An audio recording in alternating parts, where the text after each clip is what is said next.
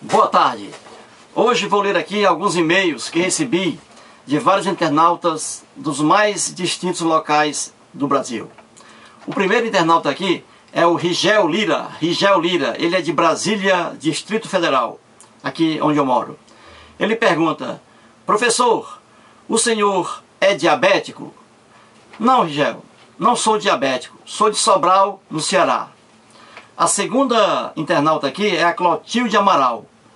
Aquela, ela é de Itapajé, Ceará, perto de Fortaleza. Aqui ela pergunta aqui, professor, existem doenças relacionadas a algumas profissões. Por exemplo, o mal de Parkinson é muito comum entre os boxeadores. Haja vista o Muhammad Dali, o Cassius Clay. Já que o senhor é um assíduo frequentador do cabaré da Cremilda, o recanto da Chibata, qual é, professor, a enfermidade mais frequente nas putas? É, Clotilde, minha amiga, eu não sou um frequentador assíduo do cabaré da Cremilda, o recanto da Chibata. Vou lá uma vez por mês, uma vez em cada dois meses. Enquanto a enfermidade mais comum nas putas é, sem dúvida alguma, a febre tifoide. Muito bem. Aqui o terceiro internauta é a Irene Siqueira. Irene Siqueira, ela mora em Fortaleza, no Ceará. Aqui ela pergunta, professor, por que o nome Guerra dos Canudos? Ela se refere à Guerra dos Canudos, em que do lado dos místicos estava o cearense Antônio Conselheiro. E essa guerra ocorreu em 1897, no norte do sertão da Bahia. Por que Guerra dos Canudos?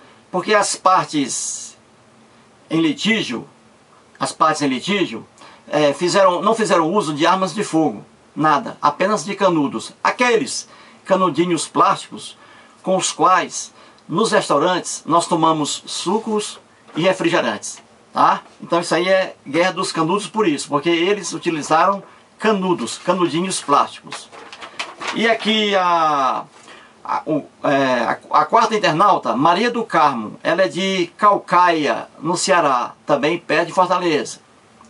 Aqui ela pergunta, professor, o que Pedro Álvares Cabral disse em 1500 quando avistou os índios completamente nus? Bem, Maria do Carmo, é, Pedro Álvares Cabral, ao ver os índios nus, disse ao seu companheiro mais próximo, Aqui é um bom lugar para se montar uma alfaiataria.